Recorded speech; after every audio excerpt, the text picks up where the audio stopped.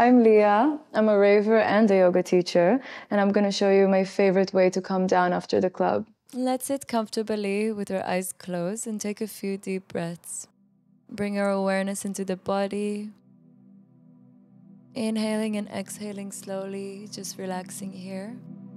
We're going to sit grounded on the mat, but open our chest and slightly roll our shoulders backwards, elongating the spine, just bringing yourself there. Now we're going to bring our palms to touch in front of our heart. We're going to inhale and bring them to touch above our head. Exhale, release the left hand or forearm to the mat. Then extend the right arm to the left and open your chest. Take a breath and exhale, come back up and lift the arm back up to touch the right. We're going to interlace the fingers, stretch up, and doing the other side. So let's release the right arm to the mat or forearm. Breathing deeply, opening your chest, extending the left arm. And exhale, bringing both hands up, interlacing the fingers and stretching up.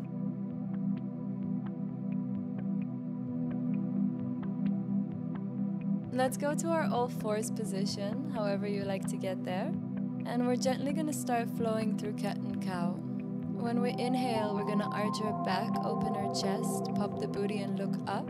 And exhale, curve the spine, tailbone goes in, and chin to chest. Now let's do that for a few rounds, however fast or slow you like it to be. Uh, it's all about the free flow here, so it doesn't really matter. We don't have to make it perfect.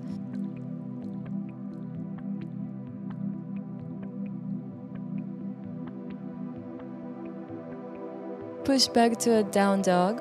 Let's get comfortable and correct ourselves a little bit. Make sure the legs are hip width apart and the hands are pushing the mat away from us.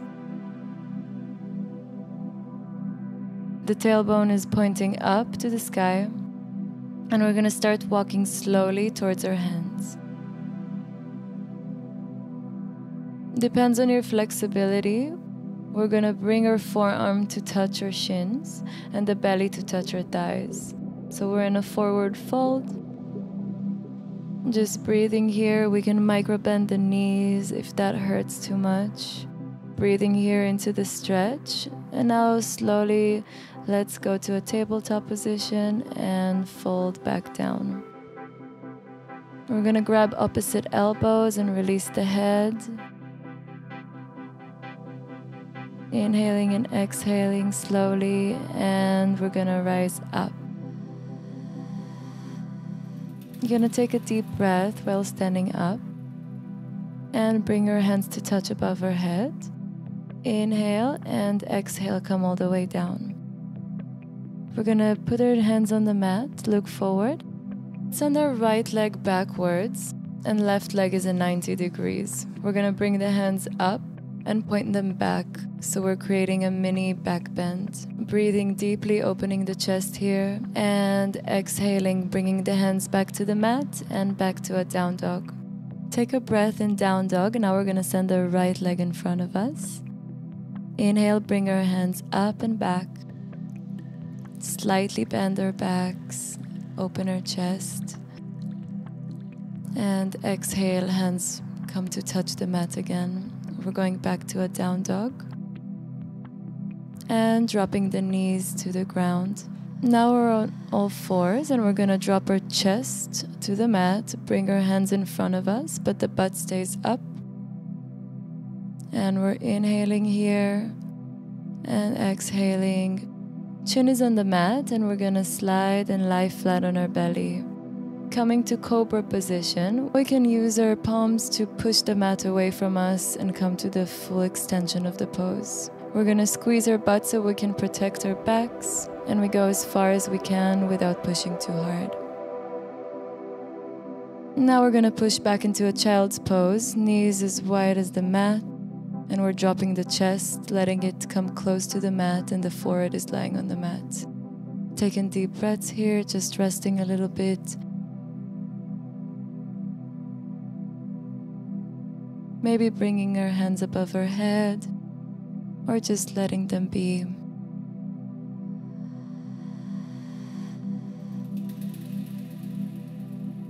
And we're gonna come back to our all fours.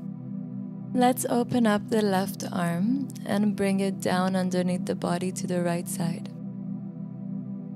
The shoulder is touching the mat and we're in a twist. You can bring your right arm to touch the inner part of your left thigh if that is possible for you. That way, you can make a deeper twist. Inhaling and exhaling here, just relaxing into the pose. Putting all of our weight on our shoulder, just opening up the shoulder. And we're gonna gently come out of the pose. So we're bringing the hand down and back to all fours. We can do a little cat and cow, and we're gonna do the other side. So we're gonna Open the right arm and bring it to the left side. And again, we can use the other arm to grab the inner part of her thigh. Inhaling here and exhaling slowly.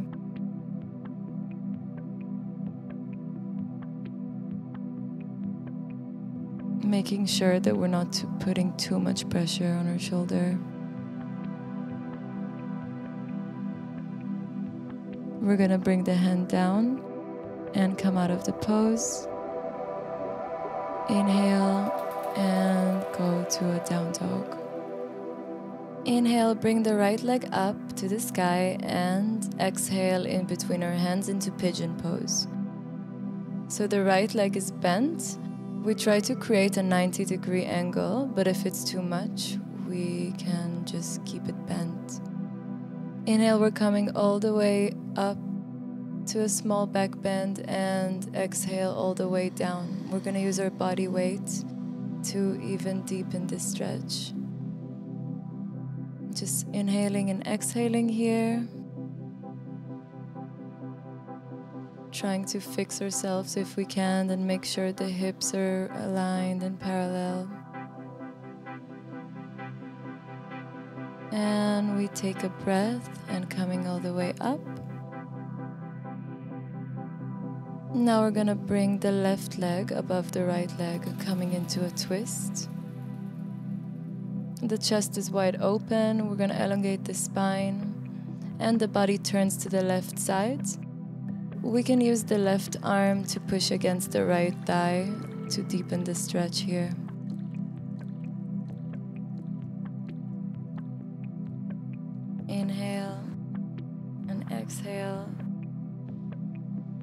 Gonna release the legs in front of us and wiggle them to both sides, just dropping the knees, releasing here, and extending them in front of us, interlacing the fingers above our head and coming all the way down to a forward fold. We're gonna make sure that our belly is touching our thighs, and it doesn't matter how far we get, just that we're doing the stretch correctly. Inhaling.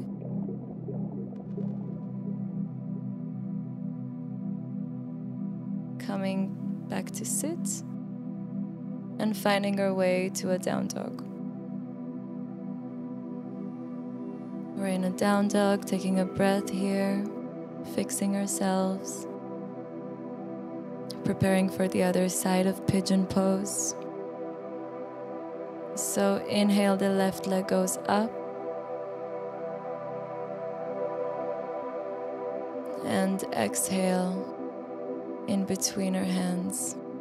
So, again, we're trying to make it a 90 degree angle while the right leg is extended backwards, but it's okay if the front leg is just slightly bent.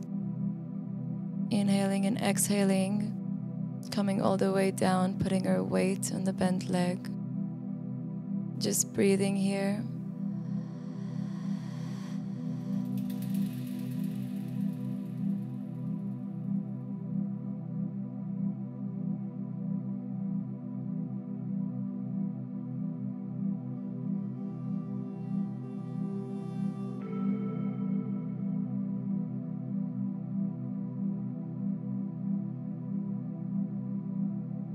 Inhaling and bringing the right leg above our left leg. The foot of the right leg is touching the ground. And we're twisting to the right side. We can use our elbow to push our knee and extend this stretch even more.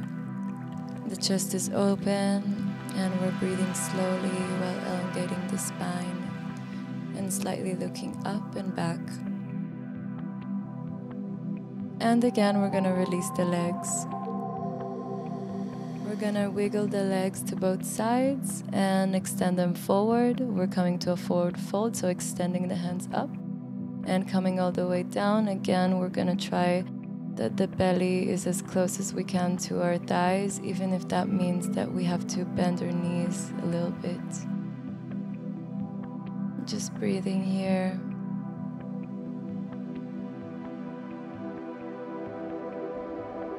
And coming up.